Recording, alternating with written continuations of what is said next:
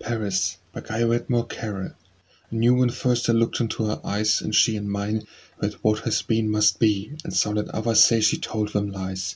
She told no lie to me. She spoke me fair, of less as well as wine, When, with its subtlest charm of all her charms, Half dropped her languid lids, and at the sign I ran into her arms. Now it is she who flings my window wide at dawn, Lets the perfumed morning in, And she walks so softly at my side Through noonday's dust and din. But most of all she, where blue night falls, Whose firm, imperious fingers tap the pane, And she whose velvet voice it is that calls, who calls her own in vain. It is as if siren understood How that she is so strong at this still hour, That I could not repulse her if I would, nor would, had I the power.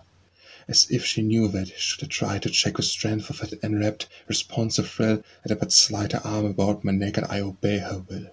So when she speaks I answer, when she woos, Her voice like wine with slow pulse goes and spurs, I go to meet her through the dawning dews, And lend my lips to hers.